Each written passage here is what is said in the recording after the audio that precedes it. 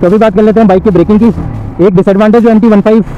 version two point में आपको देखने को मिलता है, वो है सिंगल चैनल एबीएस का डुबल चैनल एबीएस अभी तक कंपनी ने ऑफ़र नहीं किया है। डुबल चैनल एबीएस होता तो काफ़ी अच्छा हो जाता है स्पाइस पॉइंट में ब्रेकिंग काफ़ी अच्छी जाती है लेट्स सिंगल चैनल एबीएस का कैसे वर्क करता है? अभी मैं हूँ अराउंड सिक्सटी की स्पीड में एंड फ्रंट ब्रेक की बाइक तो काफ़ी अच्छी है, लेकिन पीछे वाला ब्रेक मारने में मुझे थोड़ा सा डर लग रहा है, क्योंकि व्हील लॉक हो जाएगा और ये देखिए स्लाइड हो जाएगा, तुरंत